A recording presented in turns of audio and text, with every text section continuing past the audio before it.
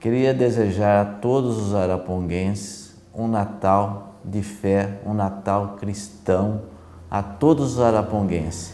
Que nesse 2016 seja um ano de superação a todos os trabalhadores de Arapongas, trabalhadores rurais, os trabalhadores do comércio, os trabalhadores do parque industrial, que vence essa crise de 2015 e que 2016 vão superar todas essas crises e que seja um ano de prosperidade a todos. Um feliz Natal, um ano novo de muita saúde e paz para todos.